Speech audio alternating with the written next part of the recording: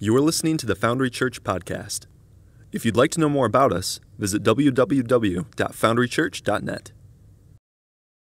Hey, good morning. My name is Alan Seaborn. I'm part of a ministry down the road here called Winning at Home, and I'm excited. You know, I'm I wasn't really expecting this many of my people to be here today, the non-campers, right? So that's all of us. I've got a really nice mattress at home that's super comfy. It's way better than sleeping in a tent. So, yeah, I, you guys get it. Uh, so, this morning, we're going to look at a passage from Luke chapter 15. And what we're going to be talking about this morning is the Father's heart. And, you know, I'm guessing that as you look up at the screen and you see this title of the message, I'm guessing that a whole bunch of us in here, we have a whole lot of emotions connected to this idea of thinking of God as our Father. Because that idea of Father has so many things connected to it from our relationship with our earthly fathers. And some of us might think of the Father that we have here on earth that is withholding of love, that would never say that he was proud of us. You know, I think of how many times you hear the story from people when they share their whole life story or you read a biography or something. So, so many people are living life to try to prove something to their dad, to try to win their dad's affection, his appreciation, his support or praise or encouragement. And then there are others of us who um, our, our earthly fathers were unpredictable. And one day they could be happy go lucky, and the next day they could be screaming and yelling and angry and really, you had to be careful, really volatile. And then there are some of us in here who um, don't even know who our Father is. And so when you think about what it looks like for God to be our Heavenly Father, you're going, Well, I've got you know, some friends of mine, I knew their dads. I've got that to go off of, and I see dads in TV shows and movies. Maybe that's. So we start to think of God as kind of the way we think of our earthly fathers. And there are still others who, uh, who have experienced abuse, who have been victimized by our earthly fathers. And so we carry a whole lot of baggage into this idea of what it means that God is our Father.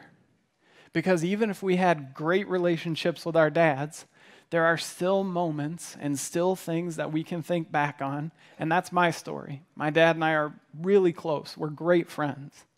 But I think back on some things and I go, well, I, I hope that God doesn't have that characteristic that my dad had here on earth because I know how that left me feeling uncertain and like there was this sense of unpredictability at times. So we have to kind of check that baggage before we can talk about what it means for God to be our heavenly Father. And throughout the Gospels, Matthew, Mark, Luke, and John, Jesus refers to God as either his Father or our Father uh, in 152 different verses, which is overwhelmingly the way that he referred to God in heaven as Father. And so, who knew God better than Jesus? Who knows God better than Jesus? Nobody. We can trust what he tells us that our Heavenly Father is like. And so, Luke chapter 15 is Jesus explaining through telling these three separate stories, these three parables. He's trying to help us understand what God is like. So, the whole chapter of Luke 15 is in response to, at the beginning, Jesus was spending time hanging out with um, these kind of two categories of people that, for the Jewish religious leaders, these people were the problem people. Jesus was spending time with tax collectors. These were Jewish people who worked for the Roman government. The Romans were oppressing the Jewish people, they were overtaxing them. And many of these tax collectors not only took the tax that the Romans required, but then they took a little extra so they could stick that in their pocket too. So these were people who they viewed as betraying their own country and heritage, and they were pretty hated in the Jewish culture. And the second group of people that they accused Jesus of spending time with were sinners. This was kind of the catch all term for anybody who they saw as not living a life that was up to the standard that God had called his people to live. And they said, You know, Jesus, we have a problem. This was a, a constant uh, bit of conflict that happened between Jesus and the religious leaders. We have a problem with you spending so much time with these tax collectors and sinners. And so Jesus tells, like I say, these three parables to try to help them understand the Father's heart for people who are lost, for people who are separated from the relationship that God wants to have with them. And so the first story he tells, uh, he tells a story of a lost sheep. Now, parables, we're going to have to think about this for a second because I'm guessing not a lot of us in here have sheep. So when Jesus starts this story, he's like, suppose one of you had a hundred sheep. And we're like, that would be the worst thing ever, right? I have one dog, and I can't imagine having a hundred of something that has their own will like that. So a hundred sheep, but this was something that his audience would have related to. They're like, okay, yeah, I know a lot of people that have a hundred sheep. And Jesus says, let's say one of them gets lost, wanders off. And he said, what you would do, what everybody would do, is you'd make sure the 99 remaining sheep are safe somewhere in a pen, you've got them secure, and then you're going to go off and you're going to try to find where the sheep would have gone. Maybe it's got its favorite little spot that it always goes to when it wanders off, but whatever the case is, you find this sheep, and what they would do is they would grab the two front feet and the two back feet, and they would kind of get up under the sheep and carry it back home like this, over their shoulders, up and down the terrain that they're crossing. And this is work to get this sheep back home. And Jesus says, when you get home, you'd call your friends together and you'd say, Hey, I, I had a sheep that was gone, but I've got it back now. Let's celebrate. And when he tells these parables, he's telling a story that the people around him could relate to to tell a deeper truth. And when we see these parables, he's telling about what we're like and about what God is like. And so he starts with this first one, the parable of the lost sheep. The next one is the parable of the lost coin. He says, Imagine there's a woman who has 10 silver coins and she can't find one of them. And we know this feeling, right? It's somewhere in the house. I lost my keys again. I lost my phone again. I lost the remote again. It's like it's got to be in one of two spots, right? So you start searching and then, no, okay, oh, I guess maybe I was in the middle of something else. I, you know, you find your phone and your keys in such weird spots, right? So she's scouring the house. She's looking under rugs. She's picking up couch cushions. They didn't have that, but just picture with me. This is what it's like for us. And finally, when she finds this coin, she gets her friends together and she celebrates. Because what was lost is found. And then Jesus tells this third story. The way that you've heard it talked about probably most of the time is the story, the parable of the prodigal son. But to fit with talking about a lost sheep and a lost coin, it could also be called the story of the lost son. And so Jesus tells this story. And he says there was a man who had two sons, and the younger of the two sons came to his father, and he said, I want to get my inheritance now. Now, I want you to think for a second, uh, you know, because it's really easy to read through these stories in Scripture or hear them talked about and just go, okay, yeah, a son was trying to get his inheritance. But I want you to think for a moment what that would be like. I want you to imagine that I was telling you that what I did this last week was I went over to my parents' house and I pulled my dad out in the garage and I said, "Okay, dad, here's the deal. You know, you're getting kind of older and I'm I'm getting most of this stuff when you die, right? I mean, I'm one of four, but I'm the oldest, so I'm going to get a little special treatment. So, uh, you know, how about you just go ahead and give me this car right now? Because it, it's pretty much mine, right? You're just kind of keeping it safe till you die. I'll just take it now. And then if I walked and said, and this, Dad, I've told you so many times, I don't like riding lawnmowers. Why do you have the, can you just sell it and just give me the cash instead? Because, you know, you're just keeping all this stuff safe for me, because it's really mine, just until you're gone. This is what he did. He went to his father, and he didn't say these words, but he was essentially saying, Dad, what I value about my relationship with you is the stuff I'm going to get from you when you're not here anymore. Uh, I don't, I don't really need the whole you and me relationship thing. If I can just cut that out and just get the stuff, I'm good with that. And I want you to picture, because this dad probably, in order to give his son this money, he probably had to spend some time selling some property, selling some of the land that he had, some of the flocks that he had, some of the other herds. I don't know. But you can picture that this wasn't a, okay, yeah, cool, I have a third of my entire estate just in my bank account. Here you go. This took some work. And you can imagine that every sale that he made, every deal that he did, giving up some of what he owned, was just a knife through the heart saying, Wow, my kid doesn't care about me at all. He just wants what he can get from me.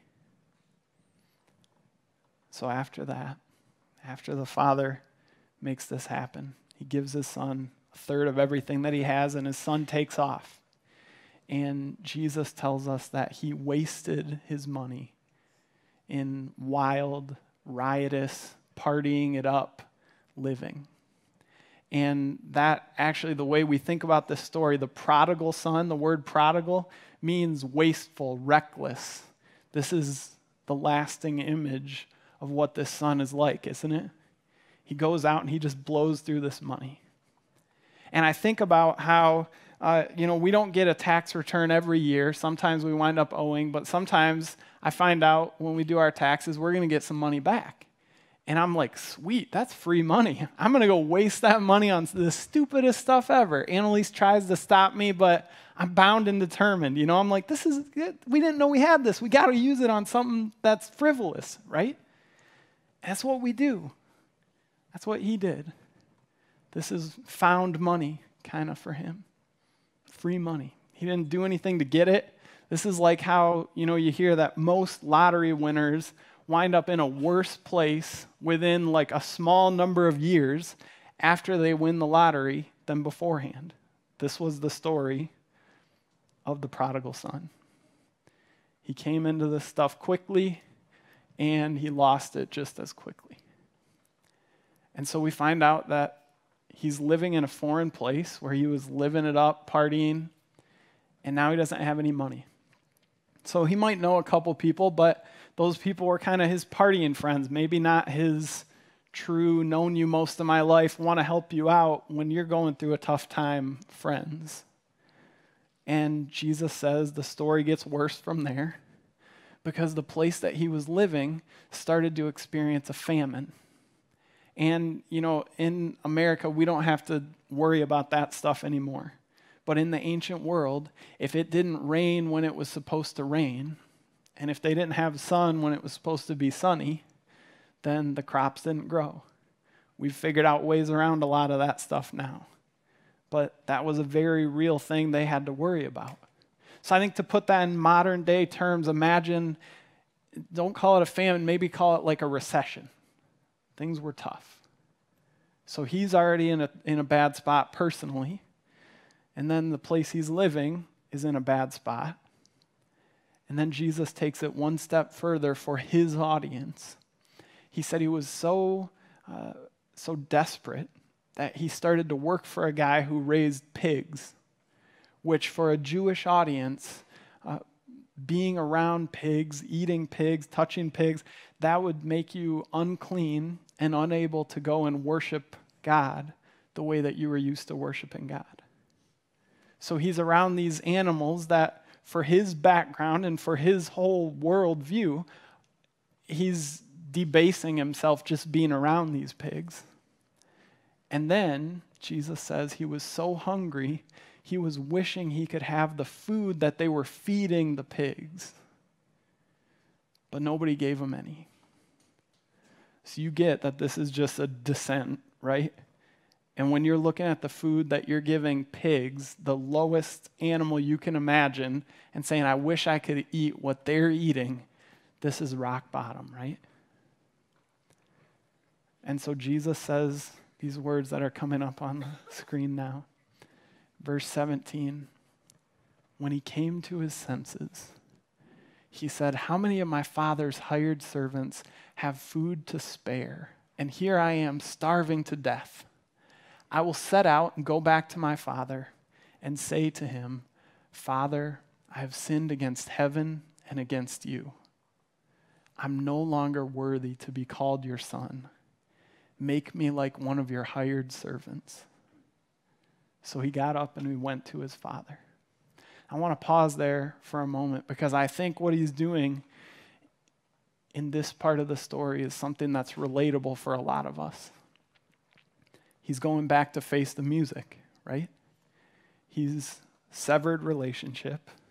He's done damage. He's burned some bridges.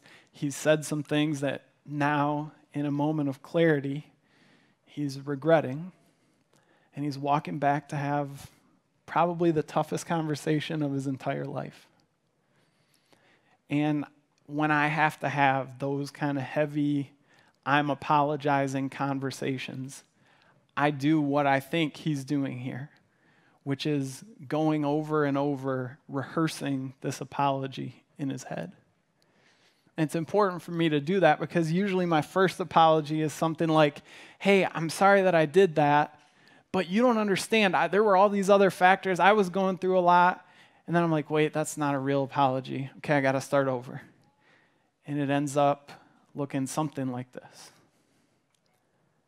I'm so sorry. I, I, he goes a step further than I do. I don't even deserve to be called your son. And this is the apology you can picture. This is his walk of shame heading back home, and he's like repeating this over and over and over. He's getting ready to have this big moment of confrontation, but deep apology. So he got up and he went to his father. But while he was still a long way off, his father saw him and was filled with compassion for him. He ran to his son, threw his arms around him, and kissed him. The son said to him, Father, I have sinned against heaven and against you. He's starting his script, his apology he was practicing. I'm no longer worthy to be called your son. But the father, he cuts him off, and he says to his servants, Quick, bring the best robe and put it on him put a ring on his finger and sandals on his feet. Bring the fattened calf and kill it. Let's have a feast and celebrate. For this son of mine was dead and is alive again. He was lost and is found. So they began to celebrate. And that response from the father to his lost son who had betrayed their relationship, who had done deep, deep damage to, I'm sure, his father's emotional stability and well being. Instead of meeting him the way that we would normally expect, right? When we're going back and we're having to face the music for what we've done, we expect that it's going to get pretty ugly that we're going to kind of have our noses rubbed in the mistakes that we've made, the things that we said that we now regret, and the choices that we made. And you know, for Jesus' original audience, he was setting them up to feel that same exact way. He's telling layer after layer after layer of the story, and they would have been listening and going, Oh man, when this kid gets home, this is going to be good because he's going to finally get what he deserves.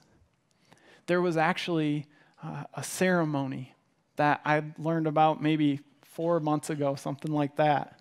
I met a pastor uh, named Pierre Eade out by New York, and he wrote a book called Our Good Father, looking at the entirety of the New Testament through the lens of God as Father.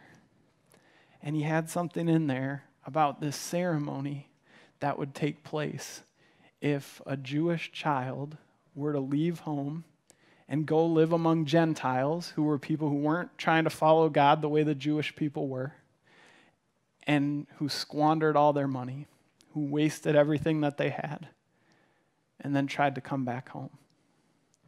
There was this ceremony, I don't know if I'm pronouncing it right, but they called it a kezazah ceremony. And if the elders of the city would see somebody who had went out and brought shame on their family and on their community and on their God and was trying to come back home, they would meet them out at the city gate and to symbolize the brokenness of their relationship between the community and this person trying to come back home, they took a clay pot and they smashed it on the ground and they yelled out, You are now cut off from your people. So, this was the expectation of what was going to happen to this son. He was going to get what he deserved, right? And when they said you're cut off from your people, they didn't just mean like, hey, we're really mad at you. They meant you don't get to live around here anymore. You don't get to be a part of your family anymore. You don't get to worship anymore. You're done. You're dead to us. It's got that kind of a connotation. The same way this clay pot is shattered, that's our relationship now. You're out.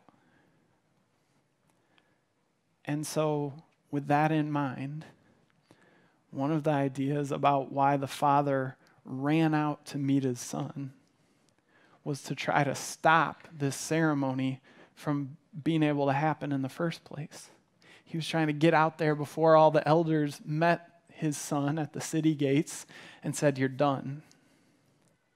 So he's running, which, by the way, for an older Jewish male would have been something that they wouldn't do. Running was kind of like beneath an older man, especially one that owned property and owned flock. This was a guy who was established. Established men in this society didn't run. So not only is he out there running to meet his son, but the expectation, when there was this ceremony of cutting someone off, the expectation would be that the father, behaving in a like hyper masculine way, was supposed to stay home emotionally detached from what was happening. He was supposed to just sort of like, hey, you know, sorry, kid, you made the mistakes. Now you got to suffer these consequences. The mother could go out, she could beg for mercy, she could beg them to welcome their son back home. But the father, it was kind of the unwritten rule like, hey, I, I sorry, you did what you did, now they got to do what they got to do.